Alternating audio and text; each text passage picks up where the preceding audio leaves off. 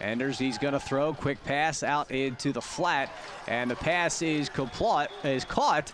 And making the catch is Kevin Sanders. Jason Ulmer in the first quarter. It's Golden, the Golden Bears seven and the Rock seven. Here it is again. Kevin Moore just looking to one receiver. Frazier on the near side, and he just dropped it right in there. Good coverage there, actually, but the ball was just thrown perfectly. And Frazier. This offense. Enders back in the shotgun formation. Enders again will hand off to Satterfield. Satterfield finds some room. He's going to have a first down. Up to False start.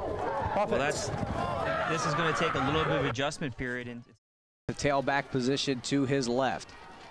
Vogel takes the snap, looking, steps up, throws. The ball is tipped up in the air, almost intercepted. Long situation. Vogel from the shotgun, slippery rock showing blitz. Vogel back, he steps up, he throws, and the pass is incomplete. And it was intended. Alex Donolfi at the 35-yard line. Sanders was looking one, Mike. First down and 10, play action pass. Vogel looking deep downfield. Dennis pass is intercepted. He was trying to get it to Josh Smith, and the pass intercepted. High short kick. Mastromato will call for the fair catch, and it's going to be a great kick. Wow. And it's going to be down at the one yard line again. So the Golden Bears for the second time. Vogel will take the snap. He rolls left. He steps up. He throws. Passes complete to Josh Smith, and Smith is going to have a. Mastromato will go in motion. They fake the handoff to him.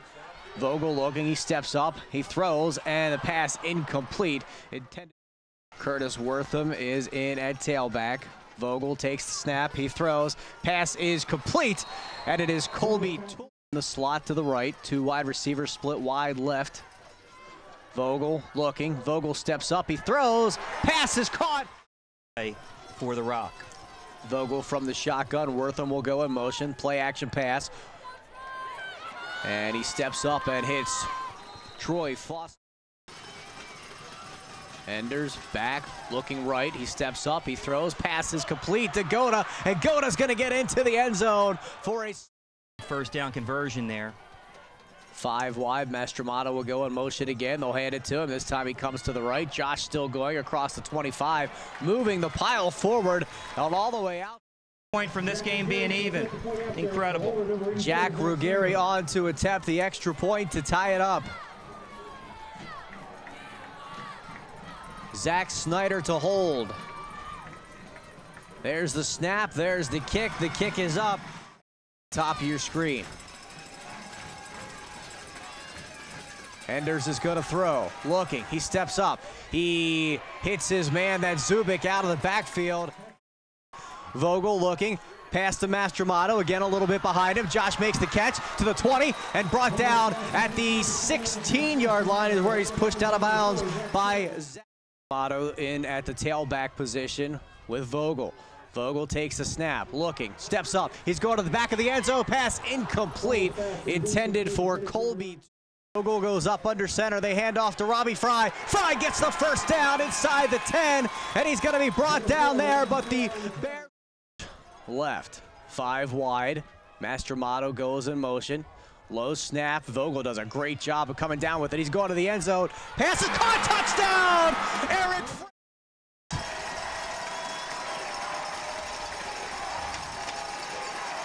Enders back. Takes the snap. Looking. He steps up. Throws across the middle. Pass is caught. And making the reception again. Henny recovers. It's an incomplete pass.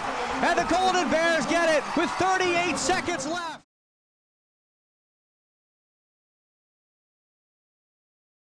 In kickoff returns. A large part of that is due to Mastromato, who is fourth in the country, averaging just under 32 yards per kickoff return.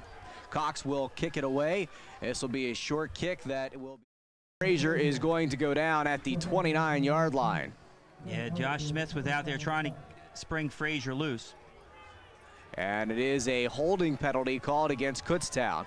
Smith is incredulous down yeah. on the field. Coach Monica has his hat off also. Holding, number 89 offense. That penalty will be assessed half the distance to the goal. Will repeat first down. Tried to get Frazier out there in space, and Josh Smith was using the, the block there to free him, and uh, the official on this side had him. Uh Four wide receivers set. Grossi's going to throw. Pump fake, and the pass is batted down at the line of scrimmage.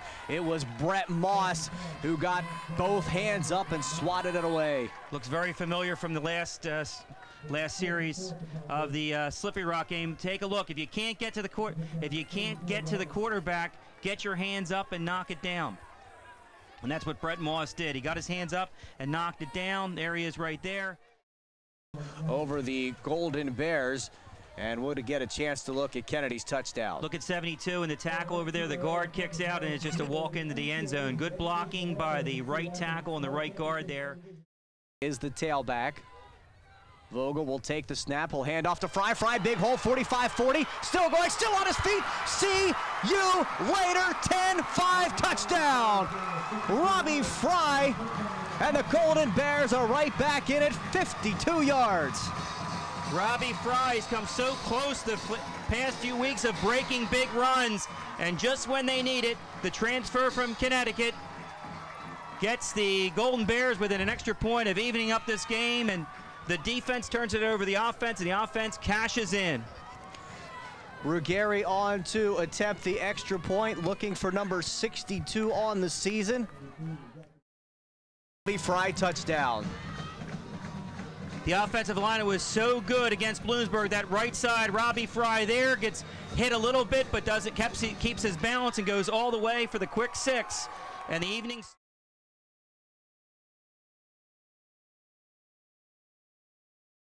Ball because it, a lot of the movement is just diversionary techniques and uh, you just have to have integrity uh, defensively to, to control this offense. Dominic Kroll will come to the near side. Again, Anderson up under center. He's going to pitch it back, and it's Watkins. Watkins finding some running room, and Watkins going to pick up nine more. Just a simple sweep outside, and it's going to bring up a second and one. Just a wing back coming around, just a straight pitch, as you mentioned, Mike, a simple wing T play off the wing T formation, and that's something that you have to, again, uh, maintain the uh, exterior and throw everything back to your flow. And this is the area of the field where Kutztown will give up yardage as we saw last week. Two wings. Jones is the tailback. Both wings yeah, go in motion, and that's going to be a penalty flag. That's okay in the Canadian Football League, but not in the PSAC. Two guys going in motion there.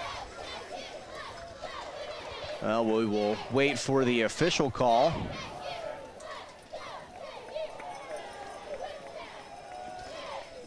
And it's going to bring up a second and six.